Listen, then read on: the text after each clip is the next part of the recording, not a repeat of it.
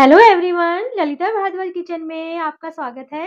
आज मैं बनाने जा रही हूँ होली स्पेशल गुजिया। तो मैं गुजिया बनाऊँगी दो तरह से, एक बनाऊँगी शुगर सिरप वाली, बिल्कुल बाज़ार जैसी, और एक जो सिंपल तरीके से बनती है गुजिया। तो चलिए दोनों तरह की गुजिया बनाना स्टार्ट करते हैं। लेकिन इससे पहले अगर आप मेरे चैनल पे नए हैं तो प्लीज़ मेरे चैनल को लाइक शेयर और सब्सक्राइब ज़रूर कर दीजिए और बेलाइकन को फिट कीजिए। ताकि मेरी नई वीडियो की नोटिफिकेशन आप तक पहुँचती रहे। तो चलिए, होली के लिए बनाना स्टार्ट करते हैं। गुजिया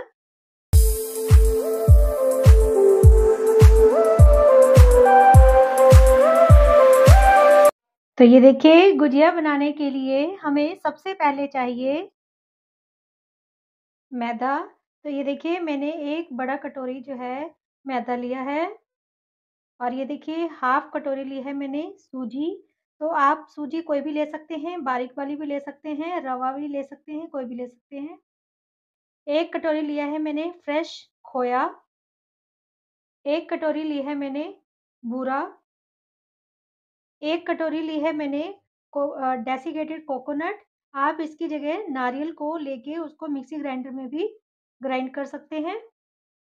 एक बड़ा चम्मच लिया है मैंने सौंफ। एक बड़ा चम्मच लिया है मैंने खरबूजे का बीज।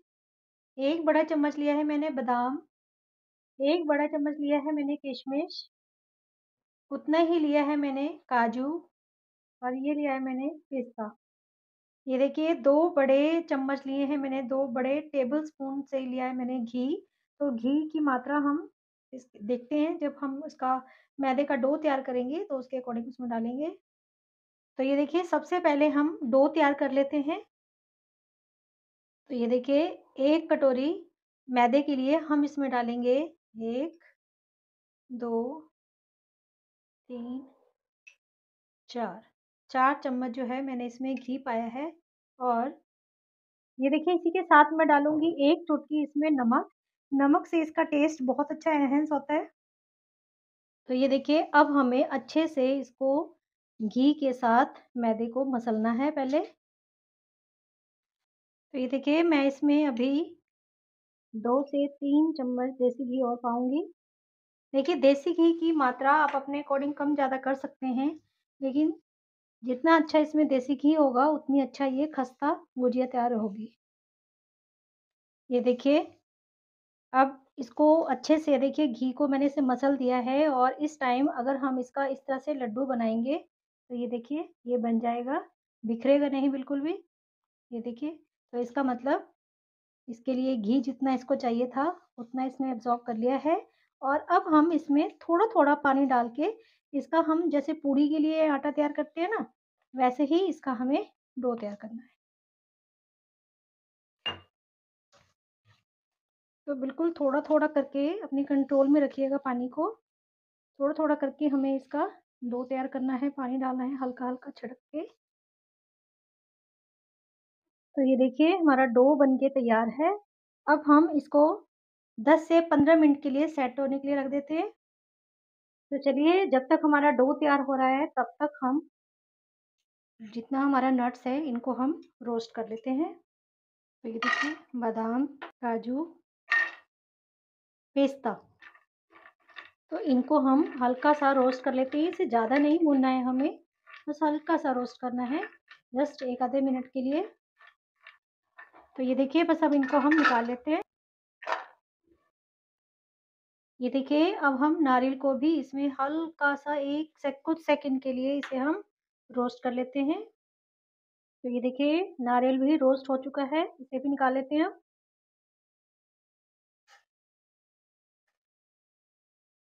ये देखिए थोड़ा सा तेल घी हम और डालेंगे इसमें और इसी के साथ इसमें डाल देंगे ये खरबूजे के बीज, इसे भी हम हल्का सा रोस्ट कर लेते हैं। ये देखिए वन स्पून घी में और डालूँगी इसमें। इसमें डालेंगे हम सूजी और सूजी को भी हम भून लेते हैं। तो ये देखिए, सूजी भी भून चुकी है तो इसे भी निकाल लेते हैं।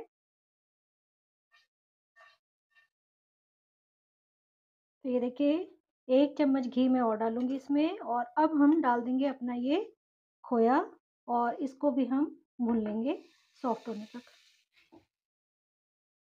इसे हमें बिल्कुल स्लो आँच पे भूनना है ताकि ये जले ना।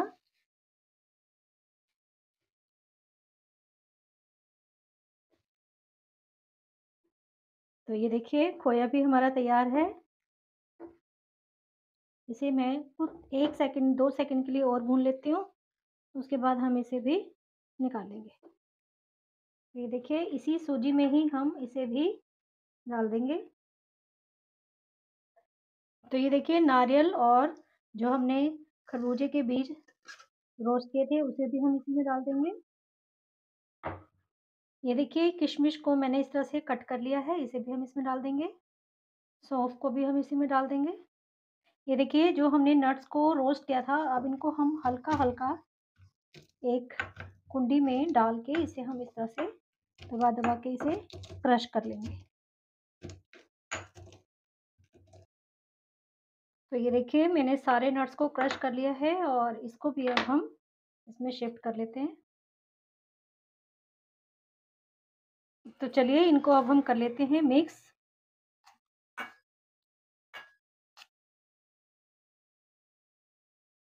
तो ये देखिए अच्छे से मिक्स हो चुका है और इसमें अब हम शक्कर थोड़ी देर में डालेंगे क्योंकि अभी ये सारा मटेरियल गर्म है।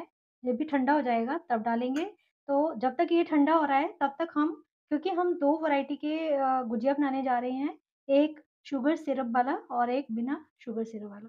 तो चलिए उसके लिए हम सबसे पहले शुगर सिरप तैयार कर लेते हैं। तो ये देखिए एक बर्तन में मैंने डेढ़ कटोरी डाला है पानी और एक कटोरी डालेंगे हम इसमें चीनी। हमें इसको कुछ नहीं करना, सिर्फ़ इसके पानी को हमें इसमें शुगर को इसमें डिज़ोल्व होने देना है, बस। ये देखिए इसमें मैं थोड़े से केसर के स्ट्रेंड्स डाल रही हूँ, ये ऑप्शनल है, आप डालना चाहें डाल सकते हैं, नहीं तो स्किप भी कर सकते हैं। तो चलिए जब तक शुगर सिरप तैयार हो रहा है तब तक हम इसमें भी अब ये थोड़ा-सा ठंडा हो गया है, तो इसमें हम डाल देते हैं ये शक्कर। अब हम इसको अच्छे से कर लेंगे मिक्स। तो ये देखिए हमारा शुगर सिरप भी बन के तैयार है, तो अब मैं गैस बंद कर देती हूँ। तो चलिए हम अपने अब डो को भी चेक कर लेते हैं एक बार। ये देखिए कितना अच्छा डो बन के सेट हो गया है। तो चलिए इसको अब हम पीसीस में इस तरह से कट कर लेते हैं। और इस तरह से हम इसकी गोल-गोल पेड़े तैयार कर लेते हैं। तो ये देखिए अब हम एक पेड़े को अच्छे से इस तरह से हम इसको बेलेंगे। तो ये देखिए इसमें क्योंकि मोइन अच्छे से हो रखा है ना, इसीलिए अब हमें इस पर ना तो एक्स्ट्रा ऑयल लगाने की ज़रूरत है और ना ही मैदे को डस्ट करने की। तो इसको हम पूरी तरह से जितना बड़ा ये बन सकता है, इसको इतना हमें बनाना है, पूरा बेलना है अच्छे से। ये देखिए पूरा, ना ये बहुत ज़्यादा पतला होना चाहिए और ना ही मोटा। तो ये देखिए अब हम लेंगे एक कटोरी और इसे इस तरह से दबाते हुए इसकी कटिंग कर लेंगे। ये देखिए।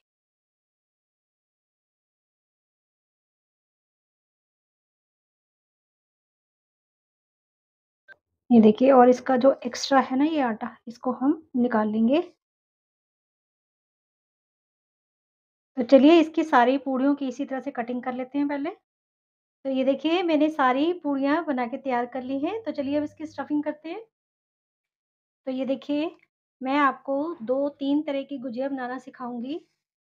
ये देखिए एक पूड़ी ली है मैंने इस पर और आराम से हम बिल्कुल थोड़ा-सा इस तरह से मटीरियल रखेंगे। और इसकी साइड में हम लगाएँगे इसके एजिस पे हल्का-हल्का पानी और एक साइड उठाते हुए आराम से हमें इसे इस तरह से यूँ दबा देना है।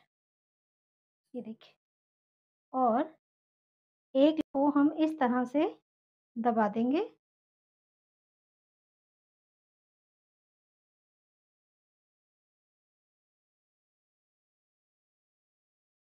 ये देखिए। तो इसकी दूसरी साइड से भी हम इसको हल्का-हल्के हाथों से इस तरह से दबाते हुए बना लेंगे। ये देखिए, और अब मैं दूसरी तरह से गुजिया सिखा रही हूँ आपको, जो हम हाथ से ही बनाएँगे। तो इसके भी सेम एजिस पे लगाएँगे हल्का हल्का पानी। और इसकी साइड्स को इस तरह से आराम से इस तरह से दबा देंगे। ये देखिए। और एक साइड से हमें एक कॉर्नर लेना है, इसको इस तरह से दबाना है और फिर नेक्स्ट फोल्ड करते हुए इसे इस तरह से दबाते जाना है। ये देखिए, इस तरह से इसकी एजिस को दबाना है और इस तरह से फोल्ड करते जाना है, इस तरह से। ये देखिए। इस तरह से और लास्ट वाली एज को इस तरह से दबा देना तो ये देखिए, ये भी बन के तैयार है गुजिया और तीसरी तरह की जो गुजिया है, वो मैं दिखाती हूँ आपको। तो ये देखिए, ये है गुजिया बनाने वाली सांचा। तो हम इसकी मदद से भी गुजिया बनाएँगे। तो इसके लिए हम सबसे पहले ये देखिए, हल्का सा घी इसकी, इसमें ग्रीस कर देंगे।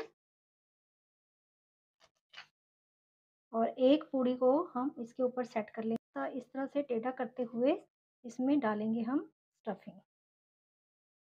ये देखिए। हमें इसकी स्टफिंग बहुत ज़्यादा नहीं करनी है। तो ये देखिए, इसकी एजिस पे भी हमें इस तरह से पानी लगाना है। और इस तरह से हल्के हल्के हाथों से दबाते हुए इसे हमें इस तरह से प्रेस करना है। और ये देखिए, इसकी जो एजिस हैं, वो अपने आप बाहर निकल आएँगे। ये देखिए।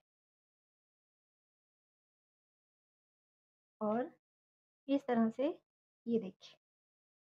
तो आपको जैसे भी पसंद है, आप उस तरह से गुजिया बना सकते हैं। तो चलिए हम बाकी की गुजिया भी तैयार कर लेते हैं। तो ये देखिए, मैंने सारे गुजिया बना के तैयार कर लिया है। तो चलिए इसमें से देखिए, जो मैंने हाथ से गुजिया बनाई थी, इसको हम शुगर सिरप में डालेंगे और बाकी को हम ऐसे ही सिंपल फ्राई करेंगे। तो ये देखिए, मैंने तेल गरम कर लिया है। आप घी में भी इसे फ्राई कर सकते हैं। मैं राइस ब्रैन में फ्राई कर रही हूँ इसे। और जो हमारा इसका आँच है, वो बिल्कुल लो टू मीडियम होना चाहिए तो ये देखिए आराम से हम एक-एक करके सारी गुजिया इसमें डाल देंगे। ये देखिए और जैसे ही ये फ्राई हो जाएगी ना, अपने आप फ्लोट होके ऊपर आ जाएगी। हमें इसे छेड़ना नहीं है, बिल्कुल लो टू मीडियम फ्लेम पे इसे हमें फ्राई होने देना है।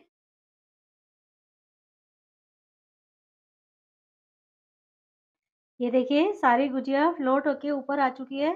तो इसे हमें इसी तरह से बिल्कुल लो अगर इसे हमें क्रिस्पी बनाना है तो इसे लो फ्लेम पे ही हमें सेकना है, इसमें थोड़ा टाइम लगेगा तो इसे आराम से थोड़ा सा और पकने देते हैं, फिर इसे हम पलटेंगे तो ये देखिए, अब हम इनको एक एक करके इस तरह से पलटेंगे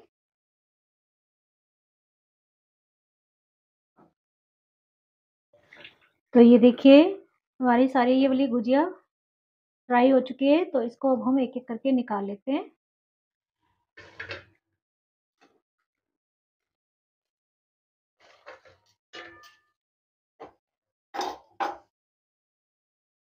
तो ये देखिए, अब हम गरम-गरम गुजिया को इस सिरप में डिप कर देंगे। देखिए, गुजिया और सिरप में से दोनों में से एक चीज़ कोई भी गरम होनी चाहिए। तो हमारी गुजिया गर्म है तो इसको हम दो मिनट के लिए इसी में डिप रहने देते हैं। तो चलिए बाकी की गुजिया भी हम फ्राई कर लेते हैं। तो ये देखिए ये वाला राउंड भी तैयार है गुजिया का तो चलिए इसे भी हम निकाल लेते हैं